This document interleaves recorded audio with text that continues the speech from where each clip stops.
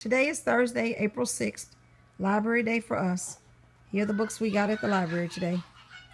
100 words, almost everyone mispronounces. It's only Stanley. A slimy story. 100 words, every high school graduate should know.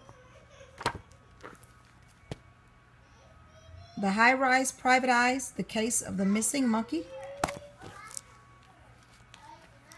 If You Were Alliteration.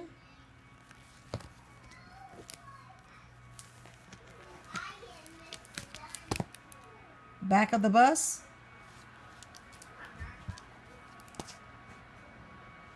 Freedom Ship.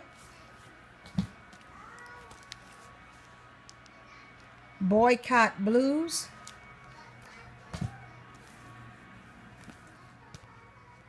Brownie and Pearl, See the Sights. Pecan Pie Baby.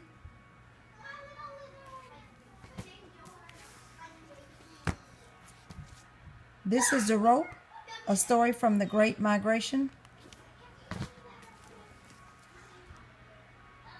Show Way. That is not a good idea.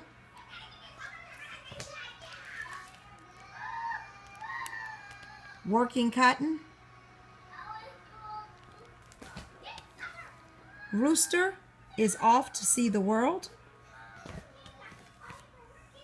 What James said. And a hundred words almost everyone confuses and misuses. Thanks so much. Bye.